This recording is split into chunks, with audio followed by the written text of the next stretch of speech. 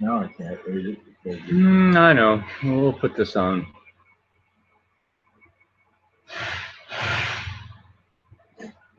Okay, well, I guess we are live here. Says we're live. We'll see how live we are when it's all over. Uh, we're still alive. I'm here with um, Major Paul Harrington, retired from the U.S. Army, who also happens to be my dad. And uh, we're at the, what is this? It's the U.S. Army uh, Artillery Museum. If you're looking for it on Facebook, you can go to, you could, uh, I think you can search Artillery Museum or U.S. Army Artillery Museum.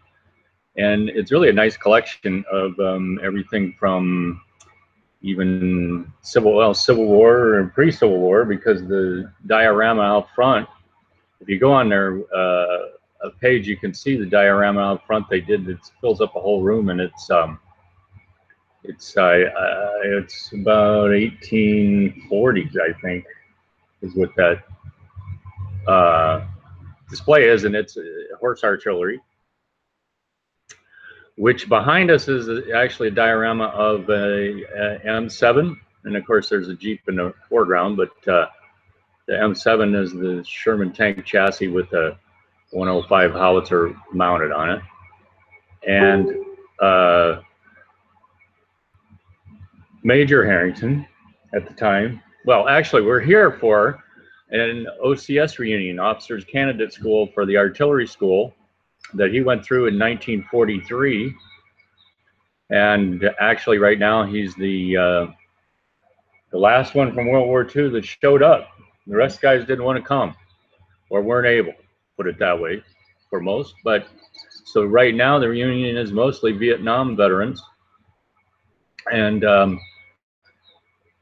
what, what we're looking at here is uh, we've got some questions we had from some L4 and L5 owners. L4 is the Piper Cub, and these were artillery spotter planes and liaison uh, planes that were used back in World War II. And there's some people that have them restored, and mostly those are in Europe now because they didn't come back after the end of World War II. And uh, so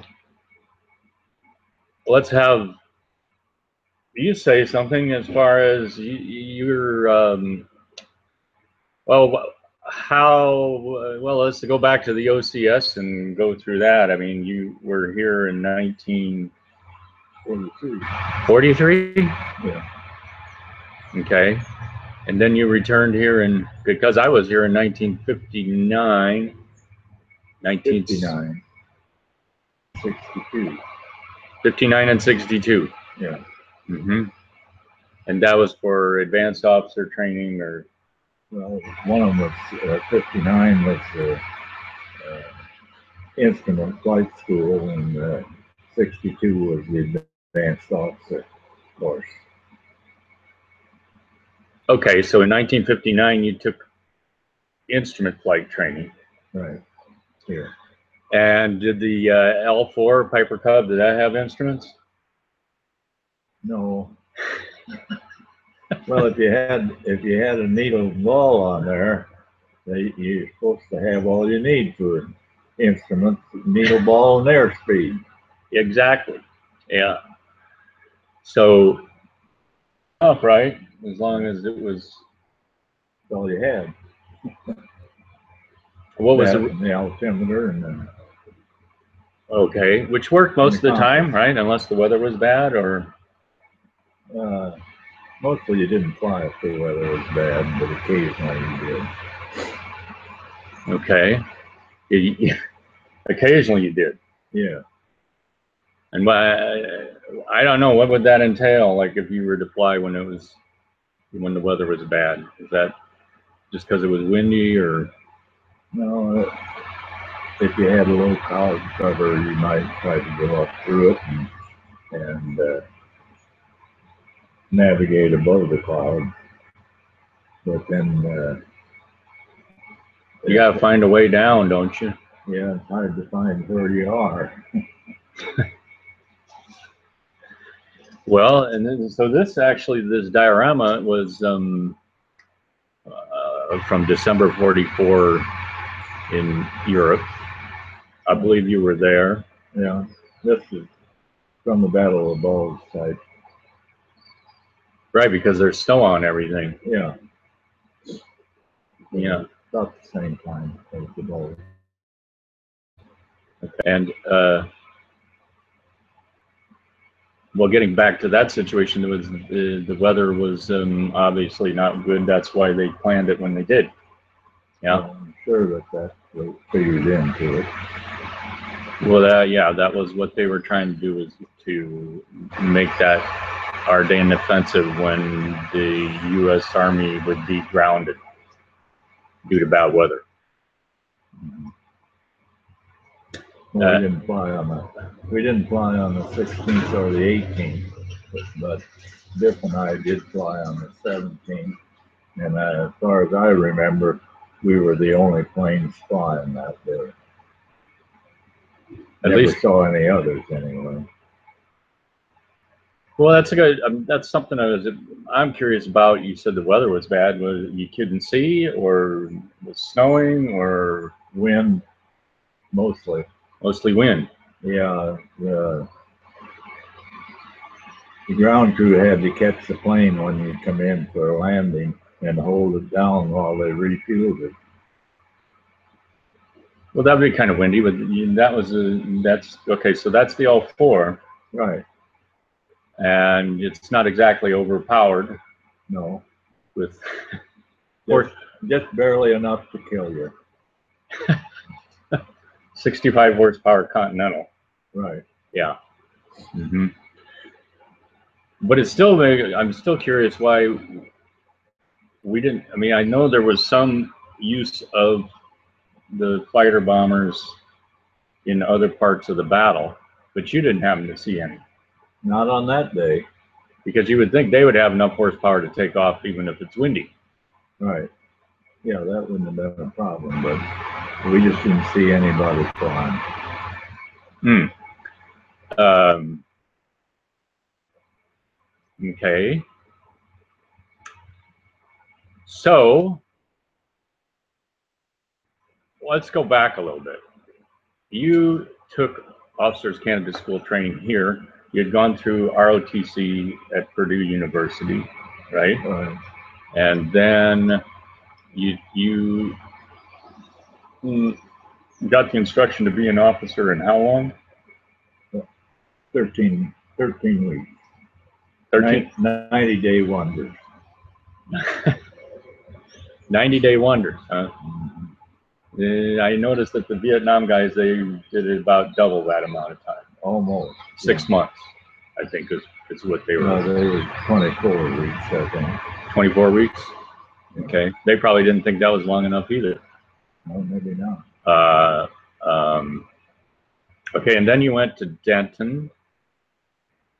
This would be 1943. Right.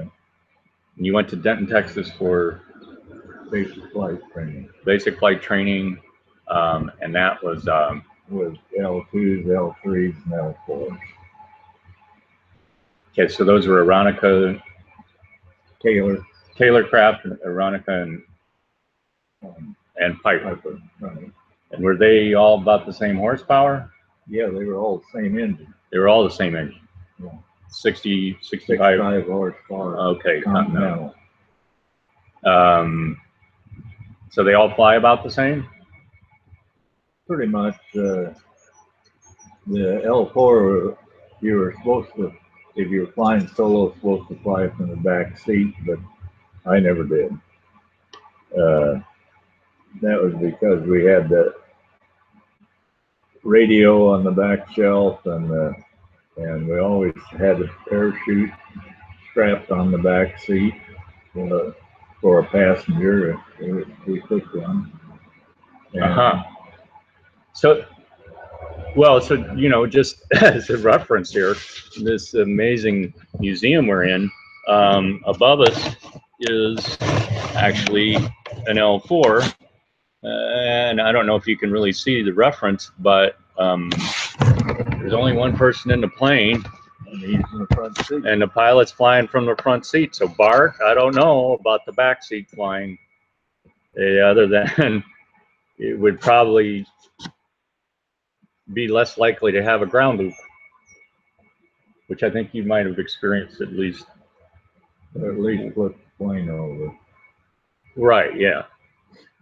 So, um, so that's still a question whether what's the easy, easiest or safest way to fly.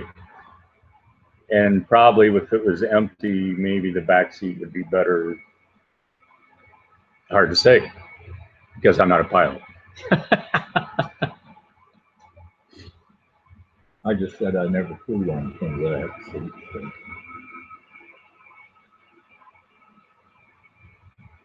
that wasn't your experience then. No. Okay. You might have to speak up a little bit. Okay. I'm probably talking too loud. Oh, And then we got this air conditioner back here, which I think they tried to make this Ardennes um, display more real because they had the air conditioner. It was down to about 50 degrees when we came in this morning. and apparently it was a little problem with the air conditioning system last night, but hence the jackets when it's kind of warm outside. Uh, all right, so then, so from there, let's see, you went back to Fort Sill yeah, for your advanced pilot training, right. And that was in an L4? Yes. That was a Piper Cub. And how did that differ from just your, your basic pilot training? Uh, mostly just to teach you tactics on landing and uh, taking off. I remember one instructor just chopped the engine and said, find a place to land. So they, okay, So dead stick landing.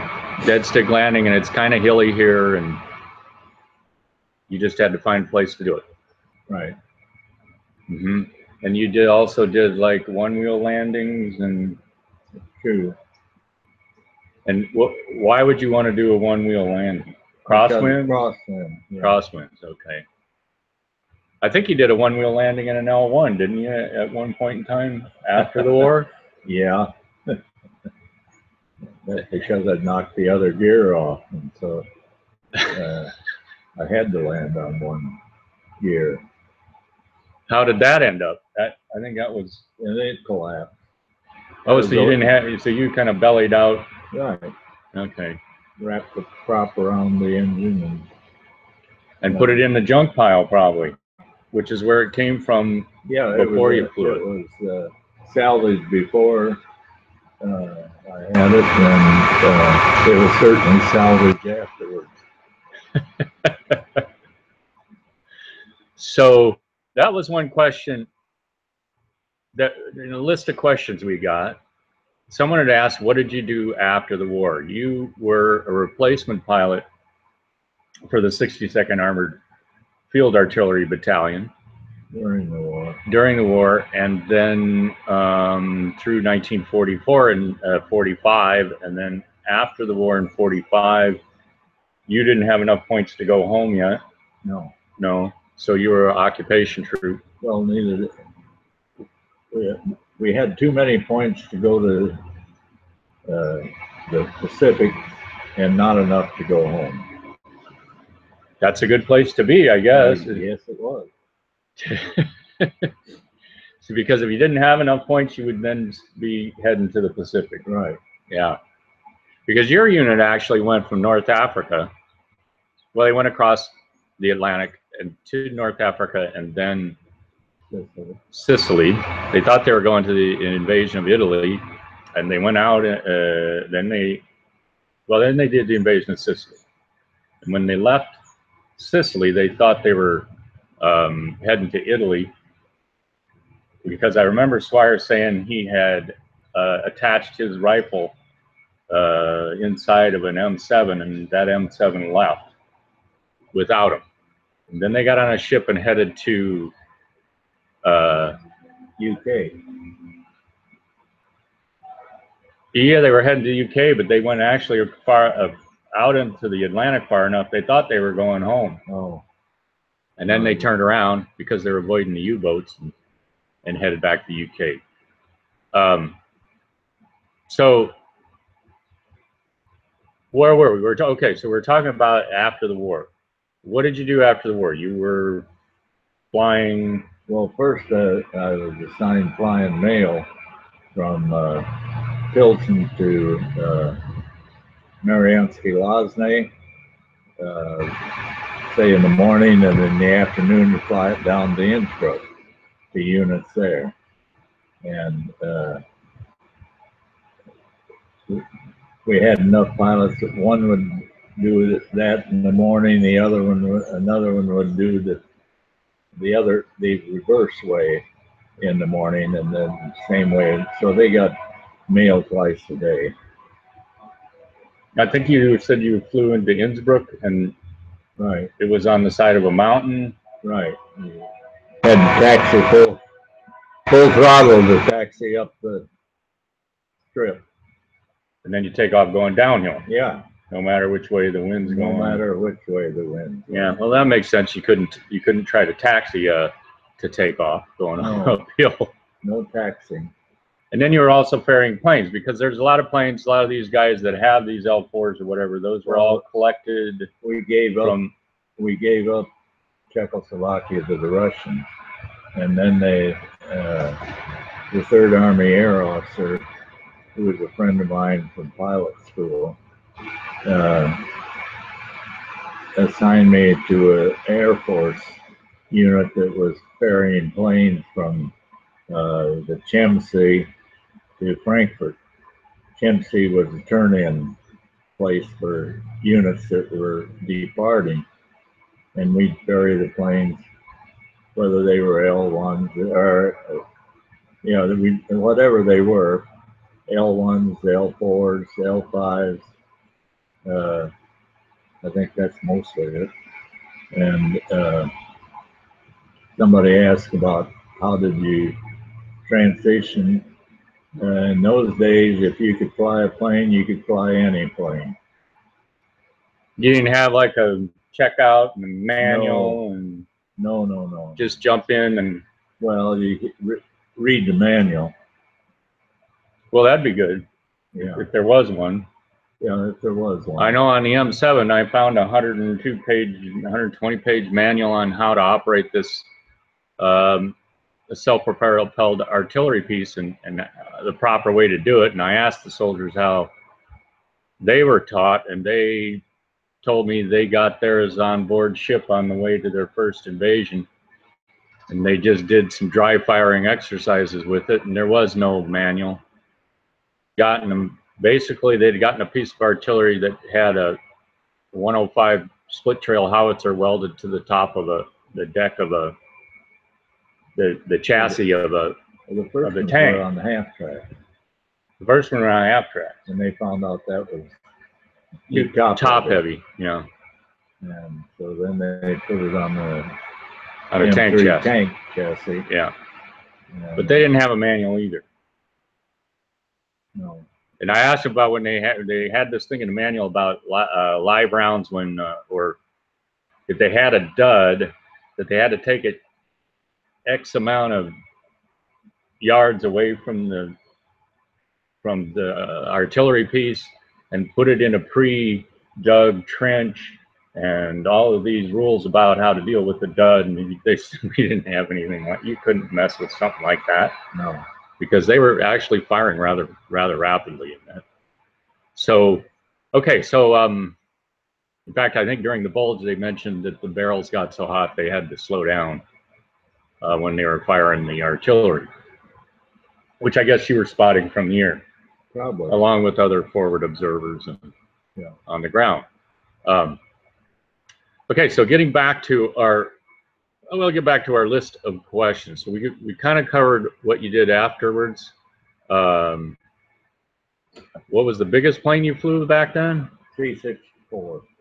A C-64. Didn't you tell me a B-17? I flew formation with us one day, and uh, he had to drop his gear and put down these flaps to go as slow as we were in the C64. And he did that for a little while and he just waved and picked up his trash and left. Okay. um, so,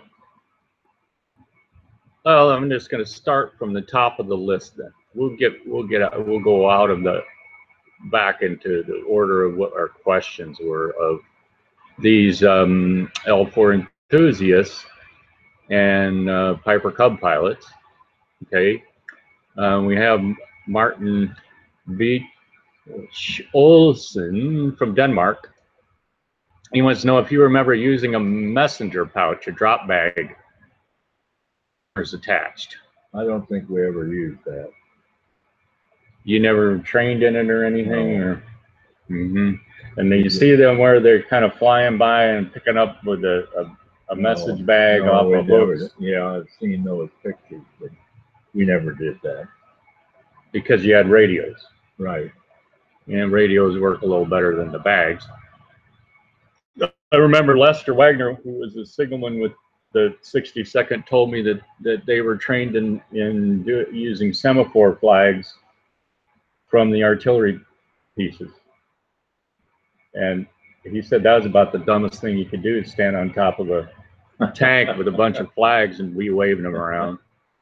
So they didn't use that either.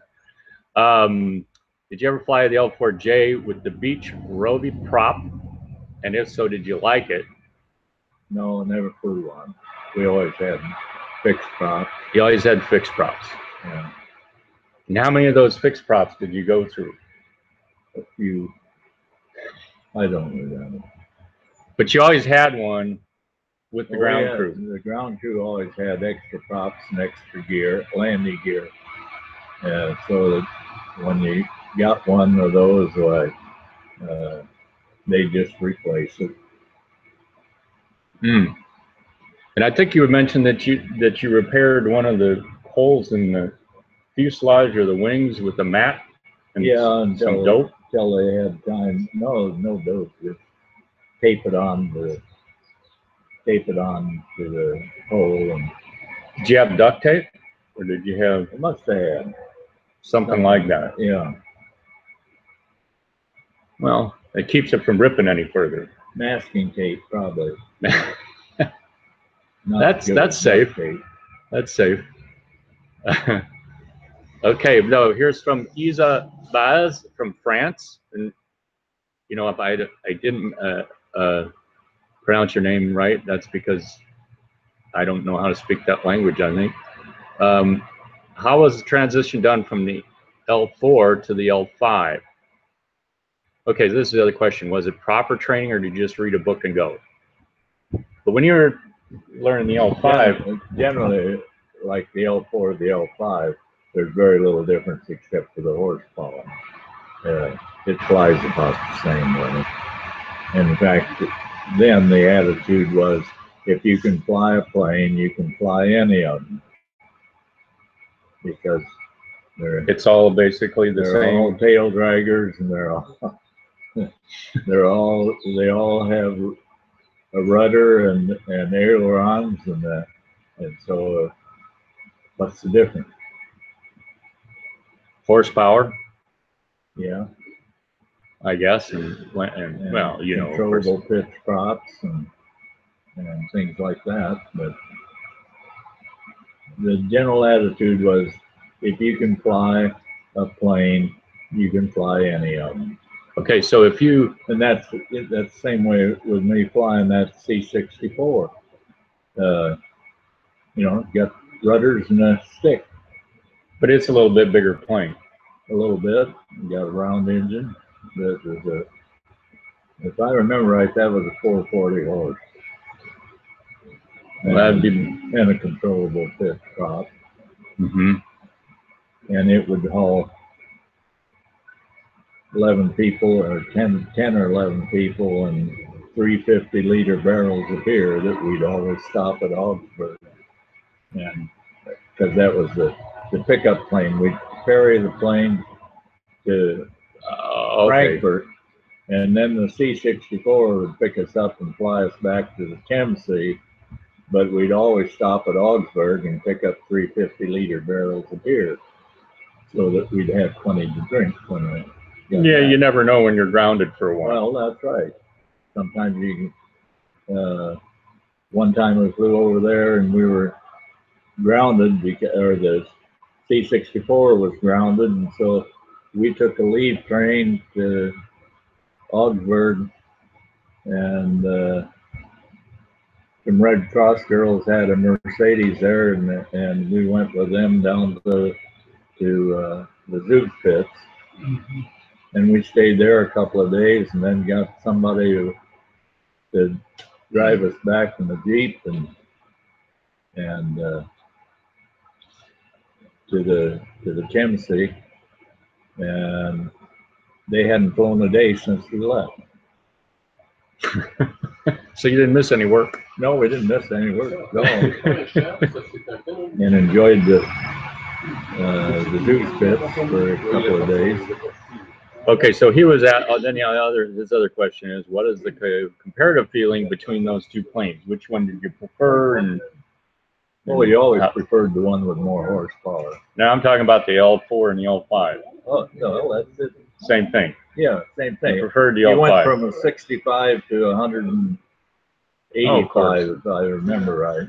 Yeah, And the horsepower of the L five, I think it's a hundred and eighty-five.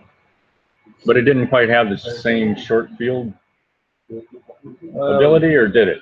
Almost, with that extra horsepower, I could almost uh, get off in about the same. But I don't know that any of the artillery units had L5s as organic. No, those Planes. were usually in the Corps or, uh, Army headquarters. Mhm. They weren't down into the battalions like we were. Maybe just they, because they came off an airstrip rather than a grass Well, there- field, or, There weren't that many of them there, and so, okay. uh, you know, Army gets first choice and, then, And it trickles down to you guys at the end. right. Yeah. Excuse me, sir. Hi. Are you a veteran of World War II? Yes, sir. We are French. Huh? We are French. Oh, Have you been in France? yes, sir. Where? Yeah. Where? Well, uh, I came in on Omaha Beach and, uh, as a replacement and then I, uh, ended up in, um, uh, oh, they took, they took us out to Versailles. The- Versailles. Yes. Yeah. And, uh, well, and I was, in fact, on VJ Day, I was in Paris. And, uh, On V on Victory Day, you were in Paris. yeah, Yeah. The victory in Japan, the end of the war altogether. Oh yes. Yeah. yeah. He was in you Paris to- on leave. I was, went- I was you on leave and I happened to be in Paris. so, Oh. um, When the party broke out, Party broke out with La Guerre Finie. Mm. yes. Well, when uh, did you land on the beaches in Normandy? Yes, but that, uh, long after D-Day. Oh yes. Yeah. I was a replacement. they still were using the beach in Normandy because there was no Yes, port yeah, yet. yeah. Yeah. Yeah. So still had to land on a landing craft on the beach. So, did, did you go to Berlin? No, I No. ended up in, uh, Pisek, Czechoslovakia, Oh. right on the Danube. Hmm. And did you? where we met the Participate? Russians. Yeah. Oh. Yeah. Great day. Yeah. Well, Uh, did you did you participate to the uh, the freedom uh, to to free the uh, concentration camps? His unit did, one of the um, prisoner of war camps. Oh, They did, they did liberate one of the prisoner of war camps. Yeah, but uh, not the uh, not the, Dachau. the death camps. You No. know. no. Okay. Yeah. Well, No, Well, thank they you. avoided that. thank you for everything you've done. Yeah, okay, so where were we here? Uh, we talked about the L four and L five. yeah, yeah, we got that. And then Neil Seaton, he's from the UK or USA, L4 owner. Did you fly with any armor plate under your seat? Some of the guys put a stove lid, but I didn't. A stove lid. Yeah. You know, off of the steel plate off of the stove. That just adds more weight. That's true. What about your flying clothing? How was that? Well, I had the complete set of the leather, uh, sheepskin lined boots and pants and, or the, yeah, and jacket. But, uh, when we got off at, at, uh, Omaha Beach, uh, my, uh, bag was not unloaded and it eventually got to Paris. I I found it there after I got back from war. And So you didn't get any of that during the war? No, they issued me another uh, parka, cloth one. Yeah, cotton down parka or something like that, or Yeah, I don't remember. I think it had uh, uh, down uh, fill in it. Okay, I've seen pictures of it. It looked like a down parka. Yeah, I you said the other soldiers were pretty jealous of that Yeah, because they were still in their summer uniform yeah. uh, the during the bulge. when the colonel went to pin the uh, air medal on me, he said, "I don't want to put a hole in that jack. I said, "Go ahead." Yeah, okay. Um, boots, headgear. There's a good question because there's a picture of you with the helmet liner on on VE Day in, in Czechoslovakia that somebody took in the cockpit of the Yeah, the L4. And never, never flew with one of those though. no, so you You had to have a hat that you could put the earphones on. so just the crush cap basically. yeah. Yeah, usually just, just uh, Or, or I did have a, uh, a bill cap with the, that I took the, had the, like a forty mission crush on it, so that you could put the earphones on, 40 mission crush. yeah. Okay. I'm not sure what that means, but I'm sure that's an inside. Yeah, that's, that was the Air Force Ah, idea, and how many missions did you have? It was 100 and hundred and thirty-five 135 missions altogether. combat mission. combat missions. Okay. Which is why, and this is, I was curious about this when you had um, a mishap, more or less, in deep snow, because when you when you were moving from one, the unit was moving from one place from to another. Belgium to, to Germany. Okay, Belgium to Germany, and you and Biff took off. And tell me what happened. Well, uh, I lost the other pilot. We were flying above an overcast and beginning to run low on fuel. And so I found a hole in the break in the overcast and went down through it and found a, a strip to land on. But it was about a foot or more of snow and, and so when the wheels touched, it did a flip. And end of the story. Well, no, uh, a, uh, mission that found me, uh, uh, and took me to their aid station, they said I was, if I'd have gone any farther, I'd have been in enemy territory. And, uh, so they took me to their aid station and, uh, as, as you know, with an L four, you have that gas tank and that skinned my shin and, and I hit my, uh, nose on the, on the dash and, and so it bled profusely.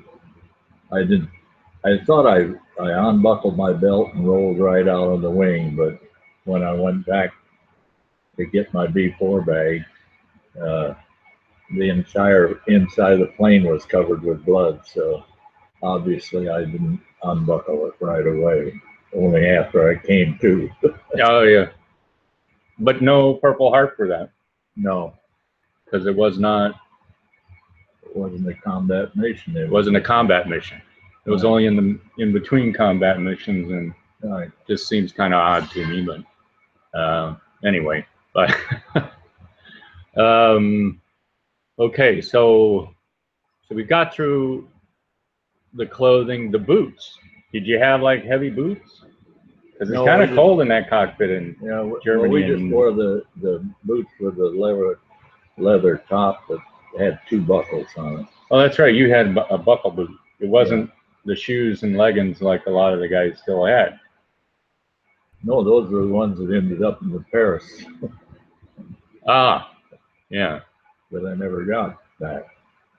And you were telling me this morning when you were here at Fort Sill, you had shoes and leggings at Yeah, the canvas leggings. we Canvas leggings. Brown, brown shoes and canvas leggings and, uh, had to scrub them every day with a brush to get the salt off that you'd sweat out. Okay, so um, uh, Per Anders Johnson from Norway. He said there's a story, a story that they strapped a barrel of beer between the gear legs and flew it out to the troops. What kind of odd, unusual mission do you recall? Well, never did that. You didn't, you didn't haul beer out to them. No, They seem to find their own, I think, from what I've Well, been reading. one of them was a, uh, one of my uh, observers always carried a carbine with him. And uh, if you'd see a deer, why, I'd uh, swoop down and he'd shoot the deer, and then we'd radio our ground crew what the coordinates were so that they could go and pick it up, and then we could have fresh venison for a while to eat. Oh, so they use basically the same map to call in artillery and use map coordinates to call in a deer. Yeah.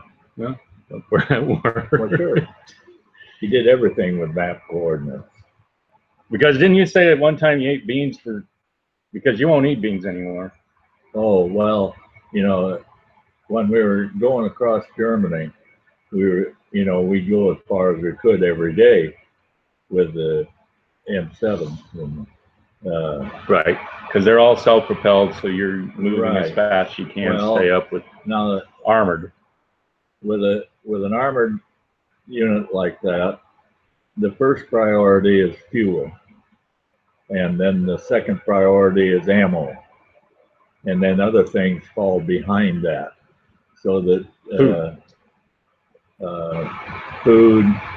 Uh, for instance, as I said, we, we ate beans, breakfast, lunch, and dinner for almost a week, and uh, another thing that you probably don't think about is toilet paper is also part of the supply.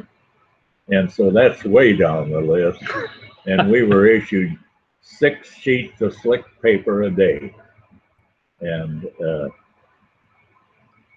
That seems to rub you the wrong way. it did. to this day, I, I my luxury is 12 sheets of paper every time I go to John. Okay. Uh, were you ever attacked by enemy fighters? And how did you escape? Well, Because you're here, time. so you must have escaped. One time they said that, that uh, there were 11 ME 109 at a certain level and, and direction. And I thought, oh, you guys are nuts. We've never seen that many plane, uh, foreign planes together at a time. And, but I was wrong. And uh, one of them peeled off to get me and and I just kept turning inside of him and, and losing altitude until I got right on the trees, and he made one pass, fired at me, and went on.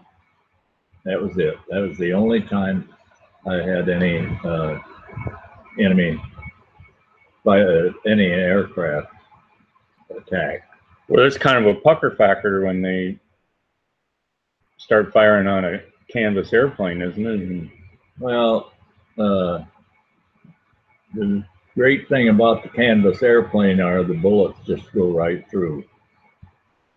They they don't explode or or anything. Oh, okay, sure. They just go right through and make a hole, and that's and that usually doesn't affect the flying much. Unless it was in the wrong spot, right? Right.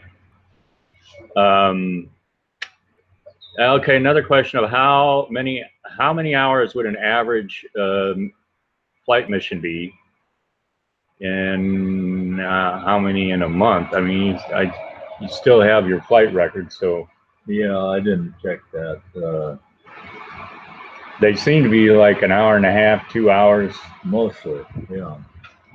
and um,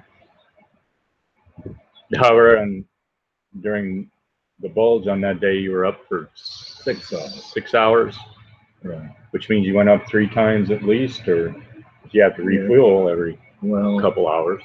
Yeah, you also have to take a leak every once in a while too. Well, that's true. Preferably when you're refueling. Yeah, and grab the bite to eat, take off again. Another plate of beans. Uh, I think, at that time, we, were- we were not. short You weren't rationed on- down to on beans? Supply line. Okay. Uh, uh, let's see where we are here. So, and, and okay, and how many missions a month? Basically every day, or Basically, every day that the weather was decent. and I remember Or when Not so decent either.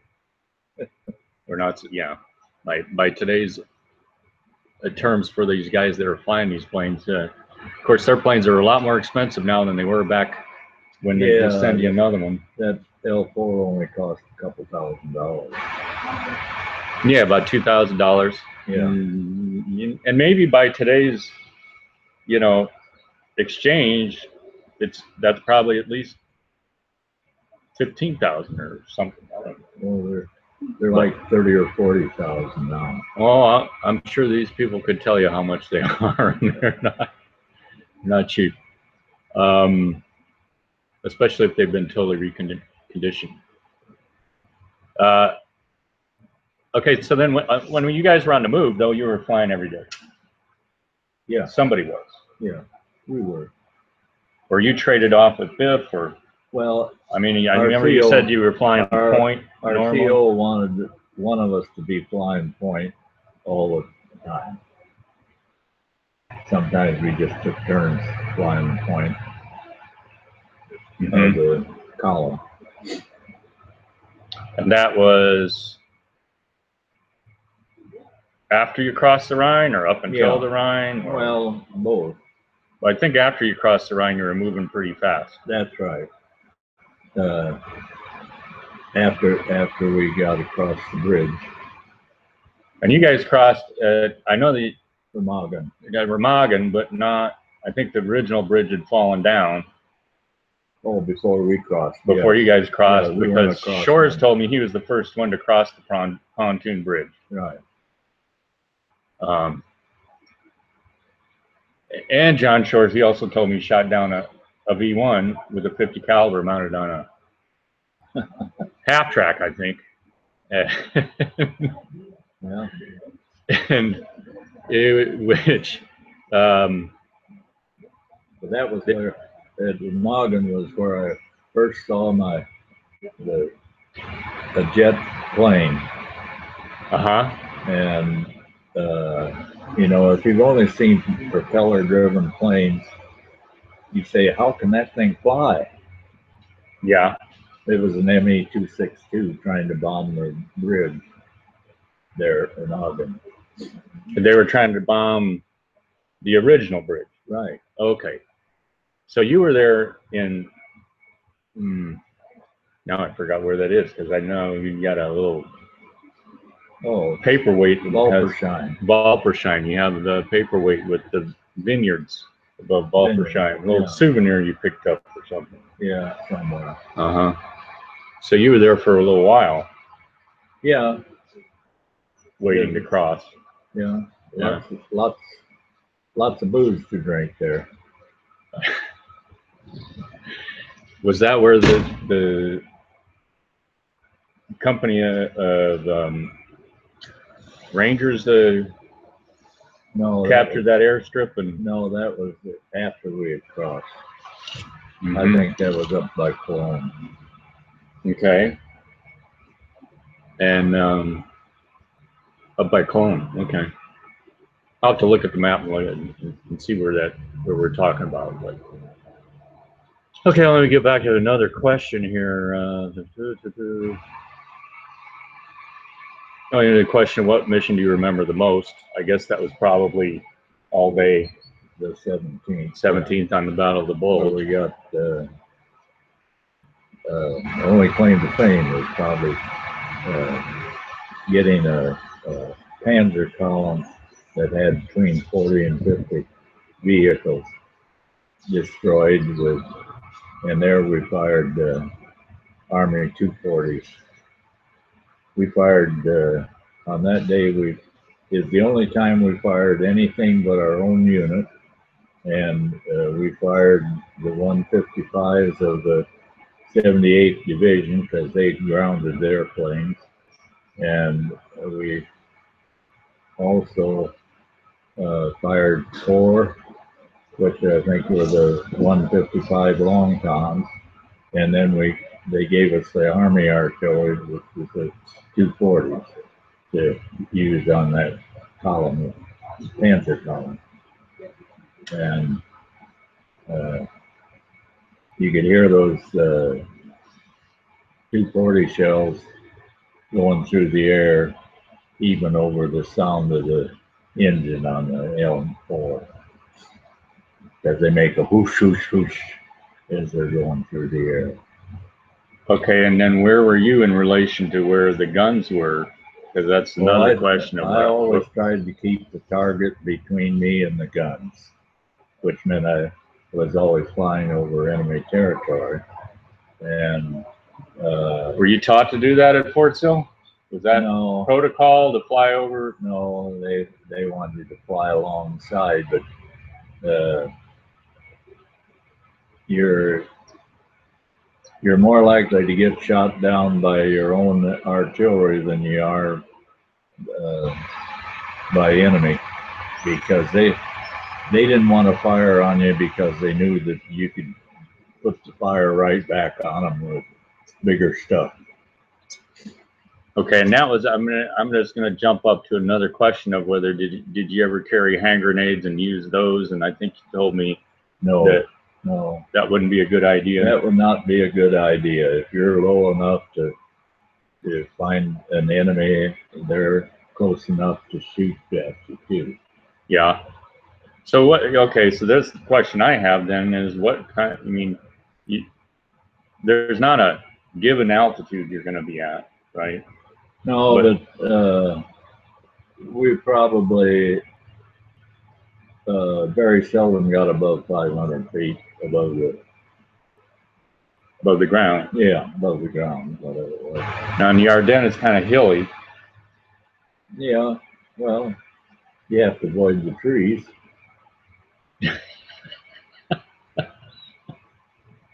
Well, that'd be a good thing, you know, because they don't move out of the way. Um, so, um, okay. Let's see. Tom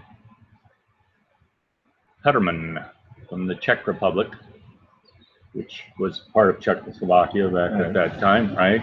Yeah. Uh, can you tell how the last days of the war in Czechoslovakia were? Do you know any places, planes, their unit codes, especially of course attached to the Fourth Armored Division? You were with Third Army at that time. You were with Yeah. Patton at that time, Third Army, and you were in. You ended up in what? But I, I don't even remember my own plane coach, so I don't remember others. Okay. Uh, so, um, we, you don't remember the number on your plane or? No. Uh, How many planes did you have when you were there?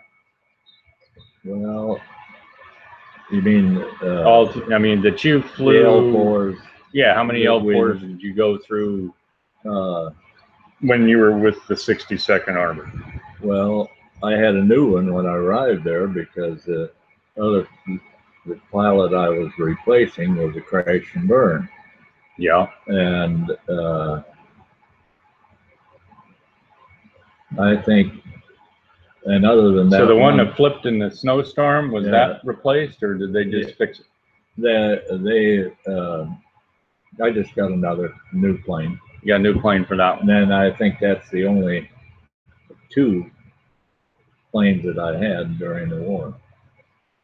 The, you know, the, the guys could repair them pretty good. You get a landing gear or, or prop and that, and they, uh, carried all those spare parts, so. They didn't have like a little metal that you get a, you know another plane on for every one you crash or? No, That was for the fighter, fighter pilots to put on there how many planes they took down, right? yeah, I said if I'd, if I'd have got one more plane, I'd have been a German ace.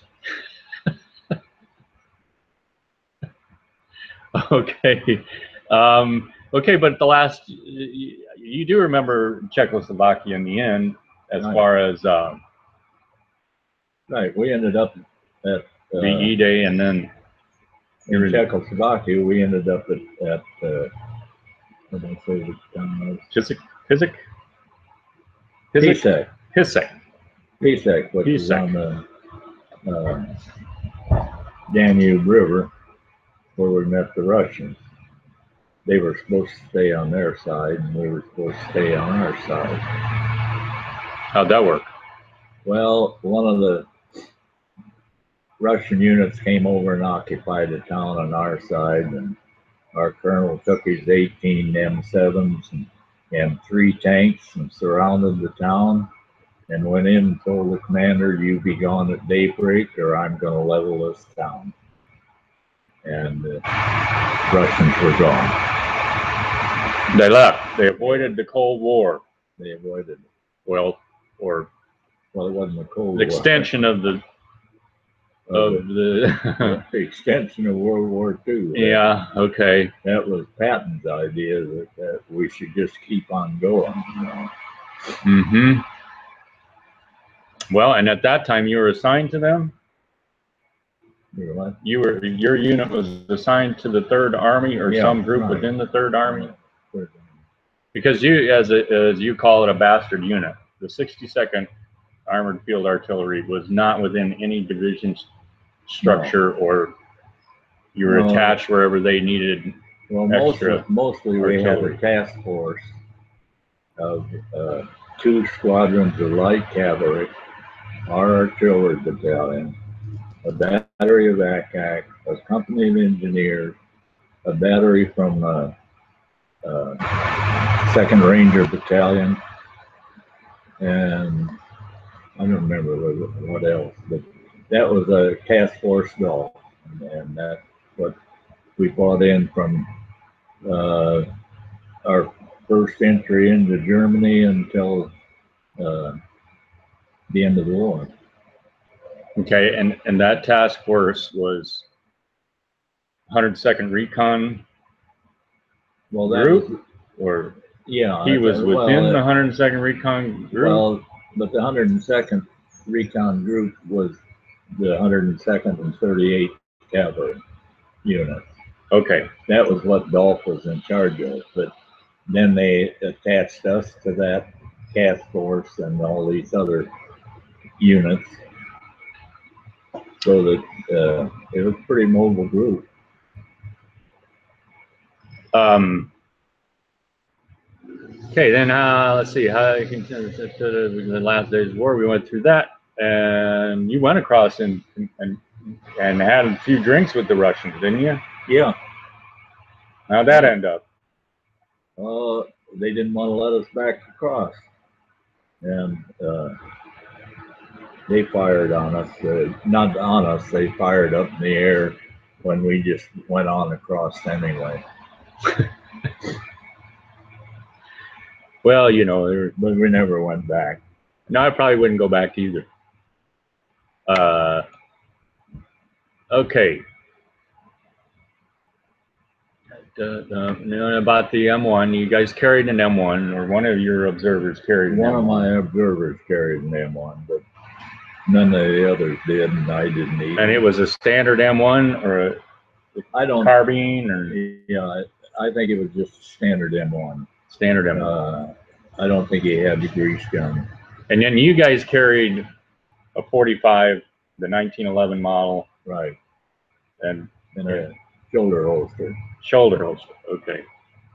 Because I saw pictures of a guy getting in to an L4 with the hip mounted holster. Well, if he was an observer, that's what he would have had.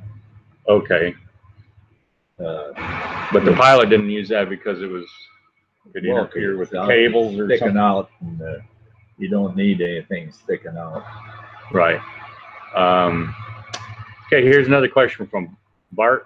Uh, and you know, Bart, I can never pronounce your last name because there's so many darn consonants.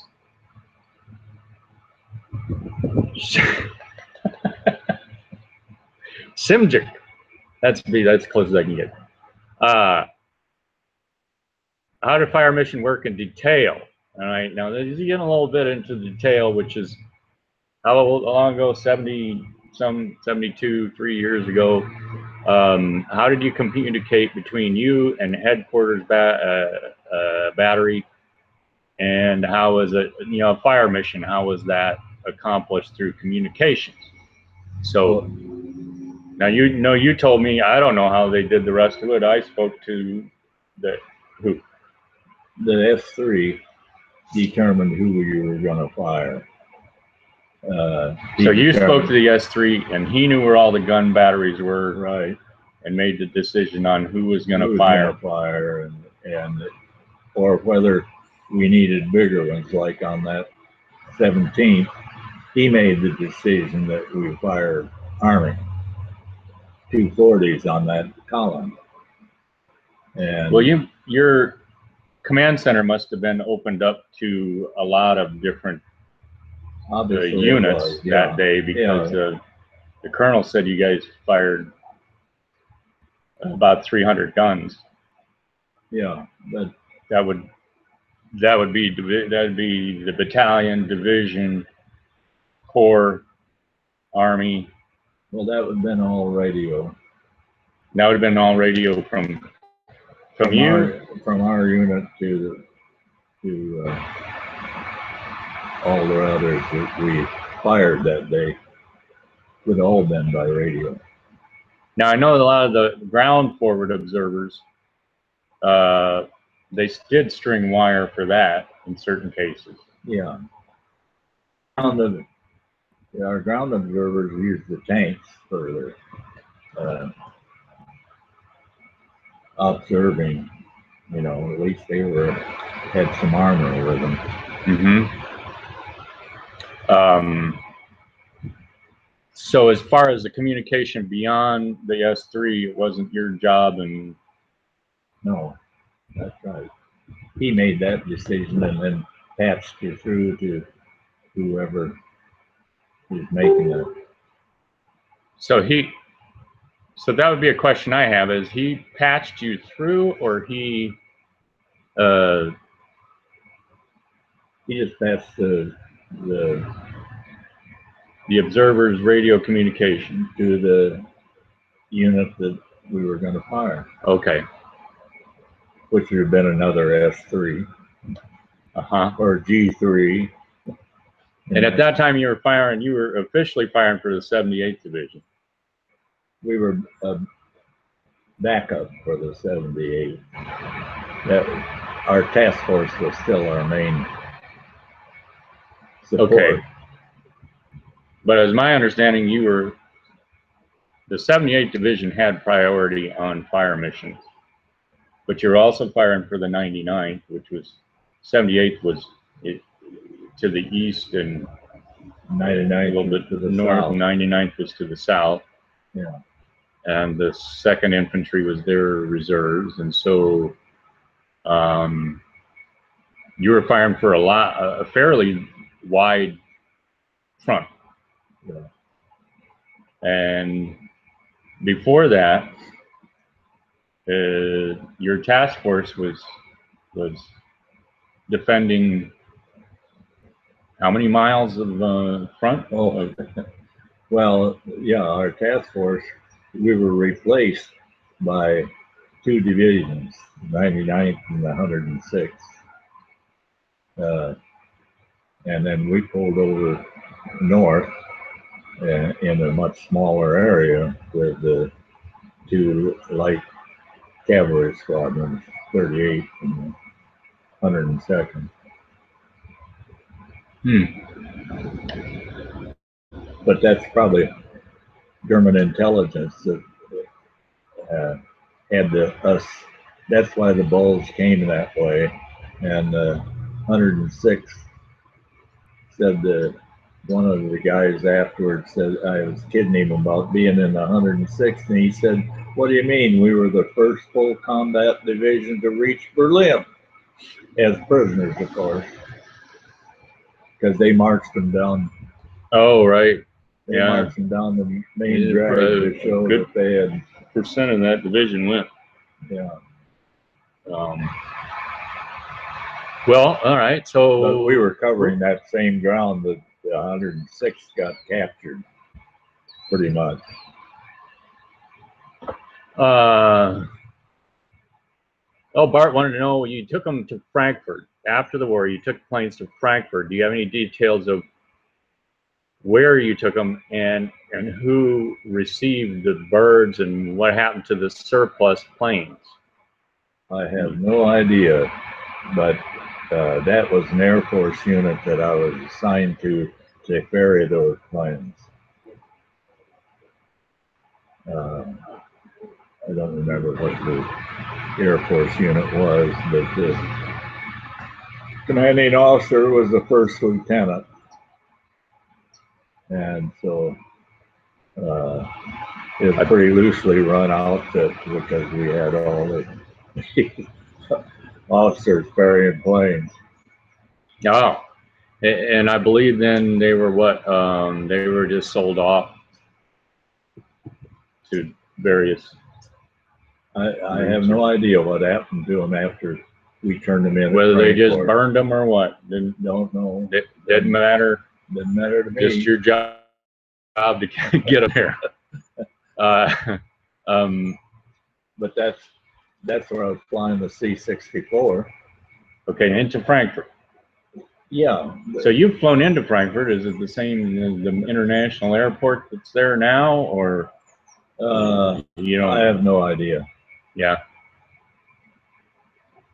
Yeah, I'm sure it all look, would look different now anyway, no matter where you fly. Um, now we're getting, this is a good question because I mentioned this, I mentioned this yesterday to Gordon, the curator here of the museum. And he does a lot of reading he's done some excellent displays here. And I, did I mention if you've never been here, you should come to this. You would have to get a pass to get on base. It's very easy to do. And then you come to the um, Artillery Museum, which is for there- U.S. Army here. There was just a Frenchman here talking to me. Yeah, yeah, there was a Frenchman in here to, to look at it, right? Yeah. So the question is about the colors. There's a lot of discussion about colors on these planes. And um, did the olive drab look rather bright or rather dark? Was it very different to each plane due to fading or repairs?